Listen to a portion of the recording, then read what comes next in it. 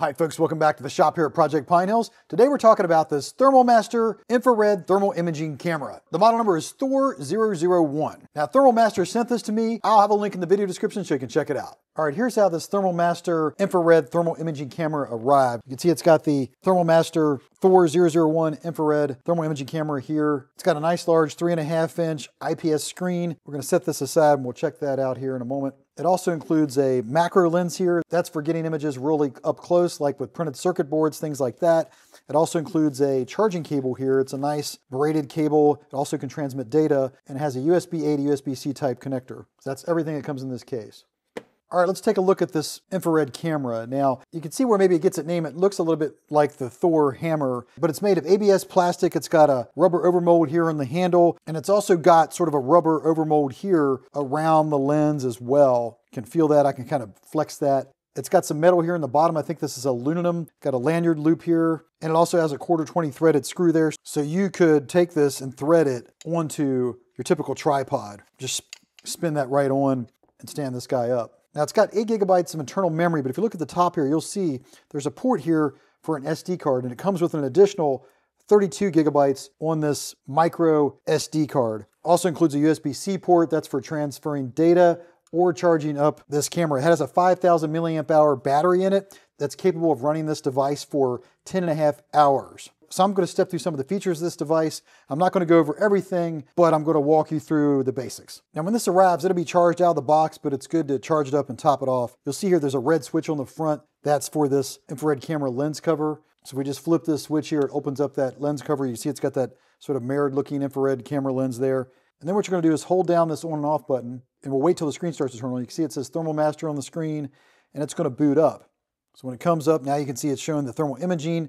So there's a closer look at the display here. So it's got a lot of advanced features for its price point. You got your mode button here. We have a light button. I'll show you that here in a second. It can take pictures and video, and you can also take voice notes or voice annotation. And this is sort of a return button here. So before we look at that, let's look at the business end of the camera. So on the front end here, you'll see it has that infrared camera there. It's sort of that mirrored lens. This is just a regular camera lens here for pictures and video. This is a white light here. I can press this light button on the other side. If you see right here, it looks like a light here. We just tap that button, it's gonna turn on that white light on the front. If I tap it again, it turns it off.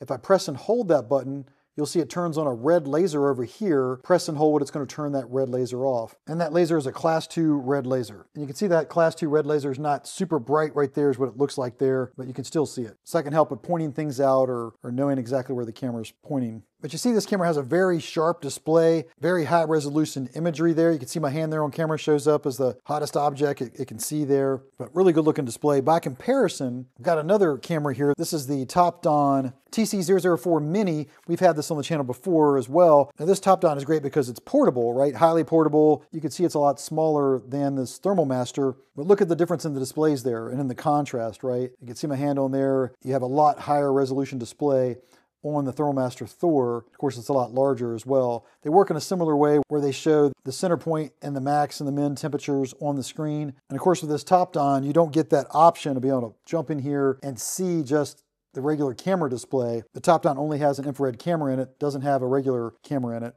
So that's really nice for documenting things here on that ThermalMaster. But there is a difference in size, right? So if you're looking for portability, just to get something really quick, this one comes in handy. If you're looking for a lot better display and a lot more features, just a lot more advanced features with that Thor 001. Now this has a nice, large, high resolution display. As you can see here, there's the battery indicator for the camera itself. There's a few things going on here. It's constantly scanning for the high and low temp. So that green pointer you see there is showing the lowest temp that it spots in the infrared camera's lens. And if you look at the red arrow, which is down here, that shows the highest temp. And you can see that min max at any time on the screen over here where it shows max and min right there. If you look here to the right, it'll show you what that red pointer is showing at any point in time. So this red arrow is finding the hottest temperature and it's always right here. The temperature in the center is showing what the white point sees. So it's good if you're looking for the highest temperature in the frame to be looking for that temperature over here where the red crosshairs is pointing. This guy here is a hotspot option. We're going to talk about that in a minute. That's how you can connect your smartphone to this device. This is showing all the ranges of the temperatures. Now, if I just tap the on off button here real quick, it'll go into standby mode.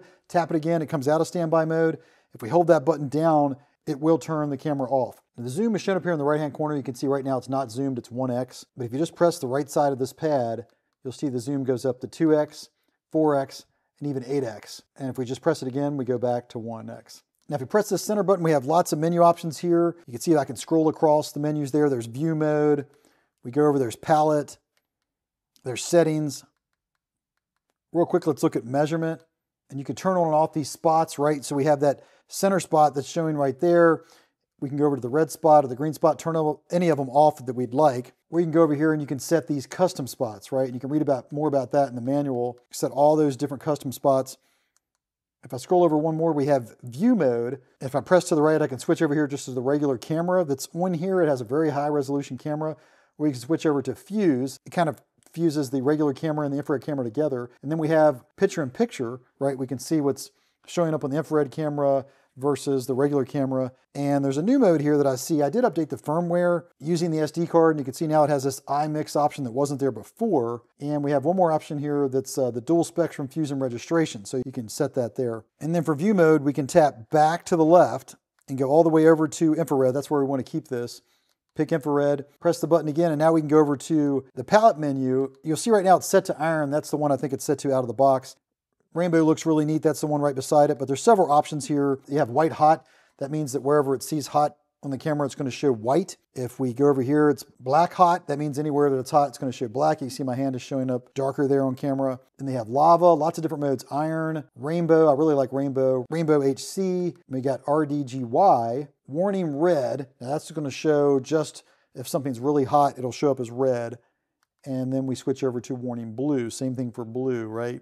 Anything that's really high temp is going to show up as blue. But I do really like iron and rainbow. Those are the two options that I like. I'm going to pick rainbow there for now. And if we go to the last menu option here, it's settings, right? So we can pick settings and lots of different things here. Now, see, the first thing it goes to is measurement parameters. They say you're supposed to set that every time you're using this if it's a different environment. So a lot of non-metallic surfaces are going to be set by default to 0.95. So you probably want to leave it there for wood and paint and things like that. Then they have atmospheric temperature here. You're supposed to set this to whatever the current ambient temperature is. It goes up and down by 1.8 degrees. It's like the closest thing that I have here in terms of the temp in the shop right now is about 64.9. It's about 65 degrees in the shop right now. And then the distance from which you're measuring whatever surface you're trying to get a temp on. So got all these different options in here. Temp measurement gear. So you can pick your, your option there. You could also select auto mode down here at the bottom if you want. I've been trying that out here lately, so we can check that out. Then we have temperature scale mode. If you select that, goes into this screen. If we press again in the center, it's going to ask you to confirm because it will disable super resolution. You want to confirm that. I'm going to select cancel and just go back. You can set these different alarm settings to have it alarm at different temperature sets. They got photo settings, which is kind of neat. You can have it auto save images if you want. By default, it prompts you if you want to save. So I like the fact it prompts you, but you could set it to auto save. You're taking a lot of pictures and you don't want it to prompt. We'll look at that here in a minute. Got an isotherm setting there.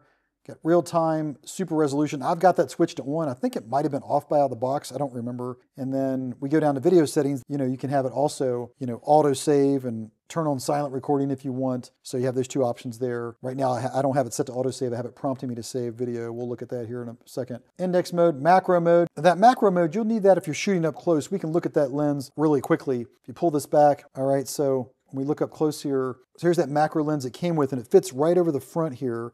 You see we can just put it, kind of center it there and a clips here on the side where the logo is at here. See this little clip right here? It's got one on the other side as well. So we just pull both of those on. Now it's got that macro lens on there. And then you would just switch this to macro mode right there. We just switched it on. And then we can back out of this and you can see what that looks like on the screen there. Okay, so you have that option for circuit boards and things like that. So jumping back into settings here, this is where you're going to want to go probably right away is unit settings. You can set it to Celsius, Kelvin, or Fahrenheit. I've got it on Fahrenheit. Also the same for distance. You can you can go in here and set it to feet or meters, your choice. We'll back out of that here real quick. And then it has Wi-Fi settings, screen display, just a lot of different options there. You can turn all these things on and off. You want the hotspot icon or I basically have everything on right now except for the time display. Unit type, all that stuff shows up there. So that's what screen is. Auto power off. Of course, you can set different times there. And you have system settings here. I mean, it just goes on and on. You can reset the factory defaults if you want. And let's look here. There's update. Now update's pretty straightforward. I did go ahead and do this. If you press again, it's going to try to upgrade that. This means you're supposed to select it, right? If I hit it again, now it's going to say SD card detected. Now it's showing update and it will update the firmware if it sees the update on that SD card inside the unit. You see it's upgrading the system now, so it did find an update there that I put on the SD card from their website. And you can see it's upgrading the firmware. Now update succeeded, it's successful, it's gonna reboot, and you see it's booting back up.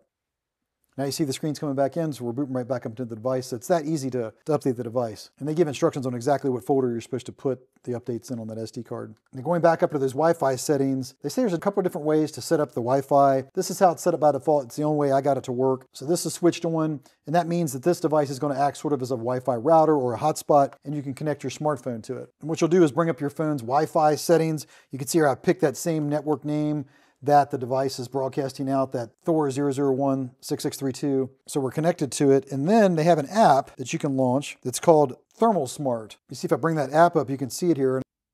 I can just touch this device list. You see the device there. I'm going to tap connect. It's going to bring up, you see the same thing on the screen now. So if I back this screen out, now it shows everything that shows up on that infrared camera, right? So if I move the camera around, you'll see the view changes on your phone. And the great thing about this is I can choose to record from the smartphone, right? So right now it's set to picture. If I take a picture, you see it snaps the shot there real quick of what's on the screen. If I pick the video option, I can now record what's on the screen, right? It's recording on the smartphone here right now, what we're seeing on the camera. Hit stop, saves that recording. Now it's all on the iPhone. I don't have to take it off the SD card that's on the infrared camera. And see if I touch that, now we can go in here and we can see that video playback or we can look at the pictures as well on here. So it's pretty nice it has that smartphone integration, makes it quicker, I think, to get some of the images you need. Now, if we're just working on the device itself here, it has a trigger here on the front. Okay, so if I pull that trigger, it's gonna take a picture, right? Just pull the trigger very quickly. There it's taking a picture and it's got a save option here, defaults to. So if I press this select mode button here, it's gonna save that picture, right? So I can just do that real quick, saved it. But if I take this trigger and I pull it and hold it, right? I'm gonna pull and hold the trigger, you'll see that's going to put it into record mode and it starts recording. You can see the record counter here at the bottom turns on. And then if I just press it again, it's going to stop recording, immediately prompt if I want to save. Remember, I could set this to autosave, but I've told it to prompt me. So I picked that, now it's saved it locally. So now we have this play button over here. I can press the play button and we can see the videos we recorded or the pictures we've taken. So if I just tap this trigger again, it'll take a picture. So let's take a picture here real quick. So it snaps the picture. It's asking me if I want to save it or not. I'm going to save that picture. Save successful. We hit the play button. And what I like about this device is if I go over here to that picture we just snapped, notice it takes two pictures, right? We have one that shows the infrared picture and one that shows the camera image. So by default, it snaps both images, both the camera image and the infrared image. So you capture both of those. So it's really nice for documentation. If you're trying to show someone what's going on with the system you're diagnosing, whether you're doing HVAC, mechanical, electrical, you're gonna have both a regular picture and an infrared picture snapped with this device. So remember, I got here by hitting the play button. I just hit the return button there at the bottom. We go back to the regular infrared camera. And that's pretty much the basic functions of this ThermalMaster Thor 001 infrared camera. Now, if we press this button here and hold it, it will turn the infrared camera off. You can see it says it's shutting down here on the display. So it's gonna shut down. We'll show you how it charges up here real quick. We just open up this flap on the top that we showed earlier. It's got that USB-C port. We're just gonna plug in a USB-C cable here and you'll see here on the display, it shows it's starting to charge here. You also notice when you have the unit on and it's charging, you'll see this red light down here and the battery will show that it's green with that lightning bolt in it. And this little circle right here, that's the microphone for recording audio. Now ThermalMaster sells two versions of this camera. They have this Thor 001 that you see here that has this macro lens that comes with it. They also sell a model, the 002. The only difference is the model 002 doesn't come with this macro lens. Otherwise, they're exactly the same. What I like about this camera is that it's reasonably priced for everything you're getting here. You could spend thousands of dollars to get the same kind of features you're seeing in this ThermalMaster. So really glad they sent this over. It's gonna be great for us to try out uh, and use it here on the channel. So really interested in checking it out. By the way, you can see that we can tail stand it here. It will stand up on its end. So that's just a quick run through of this ThermalMaster Thor 001 infrared thermal imaging camera. Let me know in the comments what you think of this thermal imaging camera. What infrared camera do you use? And I'll catch you in the next video.